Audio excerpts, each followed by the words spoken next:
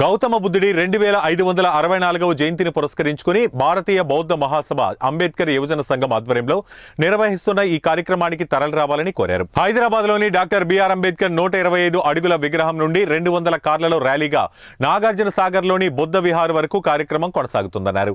ఉమ్మడి వరంగల్ జిల్లా నుండి ఎనిమిది కార్లతో హన్మకొండలోని అంబేద్కర్ విగ్రహం వద్ద నుండి బయలుదేరి హైదరాబాద్కు చేరుకుంటారన్నారు. బౌద్ధాన్ని తిరిగి భారతదేశంలో పునర్నిర్మించిన Babasaheb doctor B R Ambedkar అడుగుజాడలో నడుస్తూ పేద ప్రజలకు అండగా నిలుస్తూ భారతీయ బౌద్ధ మహాసభ ఆల్ ఇండియా అంబేద్కర్ యువజన సంఘం పనిచేస్తుందన్నారు. ఈ కార్యక్రమంలో భారతీయ బౌద్ధ మహాసభ రాష్ట్ర ఉపాధ్యక్షులు తదితరులు పాల్గొన్నారు. జయంతిని ఘనంగా నిర్వహిస్తున్నాం రాష్ట్ర కమిటీ భారతీయ బౌద్ధ మహాసభ రాష్ట్ర కమిటీ మరియు ఆల్ ఇండియా అంబేద్కర్ యువజన సంఘాలు సంయుక్తంగా నిర్వహిస్తున్నటువంటి ఈ కారు ర్యాలీ అంటే హైదరాబాద్ నుండి రెండు వందల కార్లు బయలుదేరి నాగార్జున సాగర్లోని బుద్ధవనానికి వెళ్తున్నాయి.